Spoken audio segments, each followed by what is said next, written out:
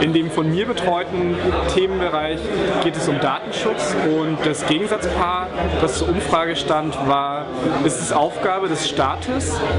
die Privatsphäre der Bürger zu schützen oder ist es als andere Seite Aufgabe des Bürgers, seine Privatsphäre selbst zu schützen? Ähm, in den Antworten, die die äh,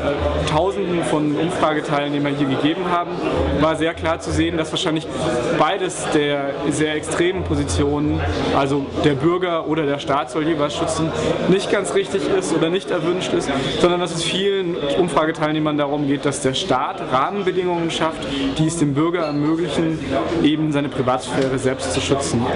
Auf der anderen Seite gab es aber auch andere Positionen, die von dieser Hauptposition abgewichen haben. Zum Beispiel, dass es Aufgabe des Staates sei, die Bürger zu befähigen, zum Beispiel durch Medienkompetenzmaßnahmen und Aufklärungsmaßnahmen in der Schule, äh, seine Privatsphäre selbst zu schützen. Darüber hinaus der Staat aber keine rechtlichen Rahmenbedingungen zum Datenschutz schaffen muss. Und eine kleine ähm,